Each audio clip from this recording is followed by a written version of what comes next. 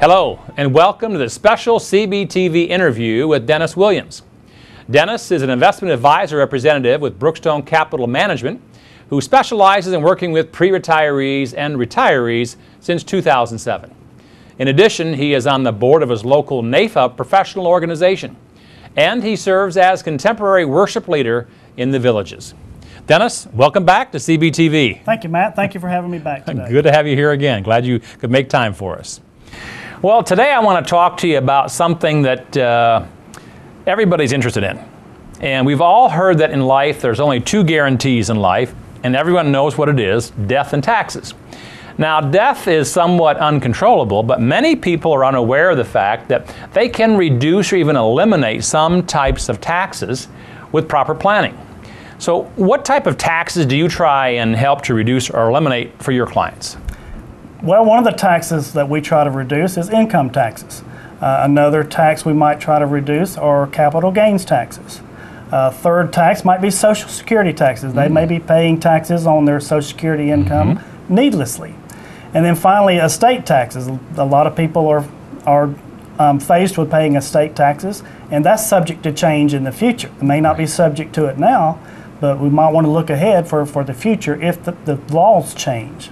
Well, that's, that's a lot of taxes that uh, could potentially be reduced. And I know every client I've ever had in my lifetime, and I'm sure yours, they're like, hey, I want to pay only the legal amount I owe the IRS.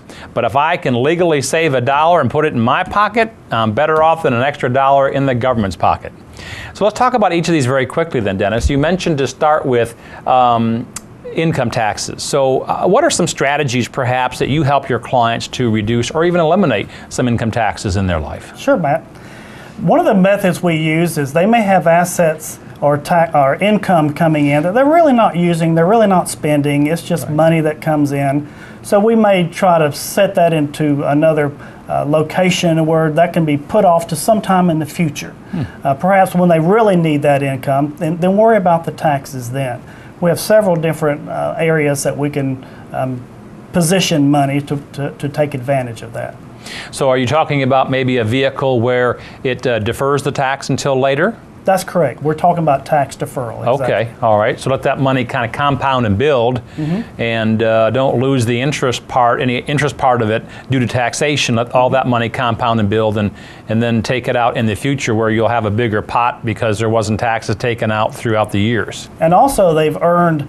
Uh, growth on what they would have paid taxes. So you, mm. it's like triple growth. You're, you're mm. earning the money that you would have had to send in for taxes. You're earning interest on on on top of interest. So you're you're really exponentially growing your your portfolio by putting it aside and and putting those taxes off to the future when you really need the money. Yeah. Let it grow and, and uh, exponentially grow.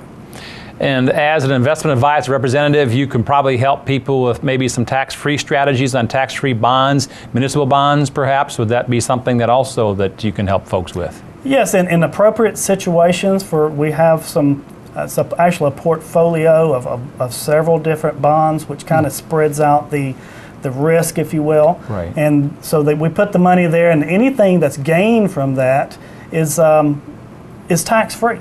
Hmm. People like that. I don't think I've met an American yet that turns down anything that's tax free or at least tax deferred. So that's good news. All right, now let's talk about ways to reduce or eliminate capital gains. Now, capital gains tax used to be 28%. The now maximum, as long as you keep it a year, is 15%. But with the government under a huge budget crunch, spending more than they're bringing in in taxes, we all know that the tax brackets, capital gains brackets, are going to go up in the future. So so, how can you help your clients to reduce or even maybe eliminate capital gains taxes? It's all a matter of planning. You know, planning for, for those particular funds, when do you need it? Um, it's sitting down with the client, finding out exactly what their needs are, and, and, and planning a strategy to how we can uh, stretch those, th- those taxes out or, or, perhaps eliminate them through some other um, type of products or other type of investment strategies. Okay, so you do have some effective strategies to again reduce or eliminate capital gains taxes. Yes, we do. Because there are some folks that bought stocks years and years ago, maybe Microsoft or GE in the beginning years. They've had it for 50, 60 years, and, and now they might need that money. They don't want to necessarily pass those stocks on to heirs, but they have a, normally a pretty big capital gains tax bill, so you can help them there. Yes. Okay. Just recently, I had a client uh, who, unfortunately, his wife passed away, and he was he was totally unaware that he could um, take advantage, in a sense, Mm-hmm. that um, he could take the step up in basis because their Mm. their stocks were owned jointly. right. So he was not aware. His advisor that he was working with did not explain to him Hmm. that half of those funds he would be able to take um, the step up in basis and therefore, therefore save the growth on those money. So I was help, able to help him through that situation in a very difficult time, but that Yeah. at least brought some um, help. some, some, some good news. Yes. Yeah, you're right. A lot of folks don't know if you own a, an asset together as husband and wife, as an example, and that asset appreciates, whether it's real estate, uh, home, stocks, mutual funds, bonds, whatever, that if one passes away, their half of the gain is uh, they get a fully, as you said, stepped up valuation so that the surviving spouse could sell that and only pay really uh, a tax on the half of the gain, not the full gain. Correct. Okay, good strategies there. Now, let's talk about a tax that most retirees absolutely hate to pay, and that's Social Security taxation. I know we have all heard that when Franklin D. Roosevelt uh, set up Social Security in the system back in 1935, gave a great big promise to that generation that uh, as they put money into it every week when they retired, they would have a monthly check coming to them and they'd never have to pay taxes on that money.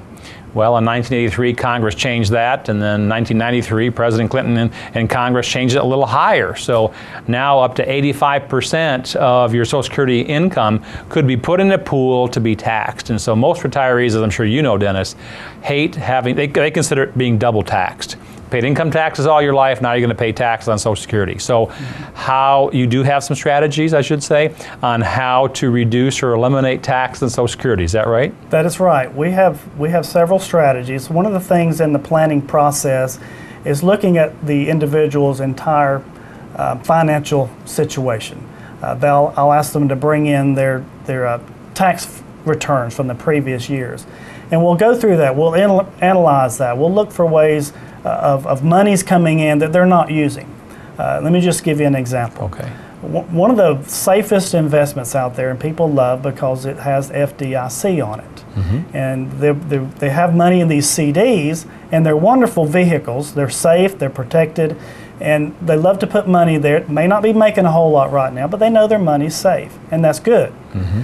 But they're bringing, they're making that little bit of interest, and then, but they're also having to pay tax on that. Right. And I've actually sat down with people that's getting a lot of money coming in from the CDs, or they're having to take their interest from their uh, investments, and they're not don't really need it. They're not spending it. Right. So we're able to take and reposition those dollars and, into into another vehicle, depending on the situation as to what that vehicle is, and we can re- actually eliminate those those interests uh, on their tax returns. And again, we're deferring the the taxes. We're deferring that growth so that we're we're growing and earning on our growth, and we're earning on those taxes that we would have paid. And down the road, when they need those funds, they'll be there. Well, that's a great strategy uh, to either eliminate or reduce, or at least defer the tax on Social Security. So you can help people reduce income taxes as well as Social Security at the same time. Is that what I'm hearing? That's, that's exactly right. Wow. We look at the whole picture. We look at their tax returns, and we help them analyze that and determine where are some areas here that that we can make some adjustments. Yeah. You know, wh- what are you using these funds for? Are you using these funds? And if not, is there somewhere better that would be fit you better? You know, some people are w- concerned about access.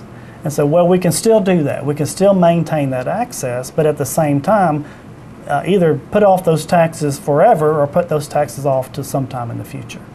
Well, it's good to know at least that there are some effective strategies that uh, can help reduce or eliminate taxes.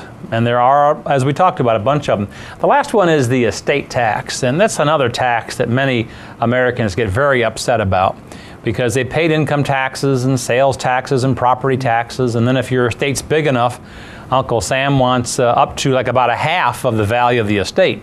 Now we have an estate tax exemption right now of what is it, 3.5 million or 5 million? What, what is it today? Do you It's know? currently five million. $5 million. Okay. Um, but it used to be a few years ago just $1 million. That's right. It was 1 million, then it was 2 million, then three millions. It keeps changing. That's kind of like the government. They change their mind quite often, right? That's change the rules. right. So, with the government being in such a tight financial situation, there's maybe a high probability that uh, the estate tax exemption might be reduced back down to a million or so. Wha- Whatever it is, whether somebody you know dies with ten thousand dollars or ten million or a hundred million, they really want all their money to go to their heirs or their charities of choice. So, uh, you have do you have some strategies to help reduce or eliminate uh, estate taxes for folks? We do have some strategies. It, it, it takes some, some planning to do that. If you have a, a couple, you actually have $10 million because it's $5 million each that you can prepare in a way or plan in a way where they could take advantage of that. And you know, we sit down sometimes with, with some attorneys that we know in the area to help uh, put this plan together so that it, it is going to, to, to work. We don't have to be surprised when when the death event comes along, we're not surprised. We we'll make sure that it's all the T's are crossed and all the I's are dotted. But um, there are strategies. There's some some uh, revocable or irrevocable type uh, insurance products that we could put them in to to um, expand that um, amount. And then you know again we talked about this changing. It's constantly changing. So. Um, this is something I talk about with my clients every year when we get together. Is you know we don't know what's going to happen in the future, but if if this was to happen, then maybe we could do this. We kind of talk about it so it doesn't catch us by surprise when it is changed down the road. Well, what's the old saying, Dennis? There's nothing in life so consistent as change. That's correct. And uh, with the government, things are always changing. That's why the tax code keeps getting bigger and bigger and bigger. well, it's good to know that there are some effective strategies, as you mentioned, on how to reduce income taxes, uh, capital gains taxes, estate taxes, and Social Security taxes. So I'm sure many of our viewers would want to find out from you personally and how they can perhaps reduce some of those taxes. So, Dennis, again, thanks for coming and allowing us to interview you on CBTV. Thank you, Matt. It's a pleasure. For more information about Dennis Williams or his financial services practice, contact him at 352 245 6493 or visit him on the web at www.williamsuncoast.com.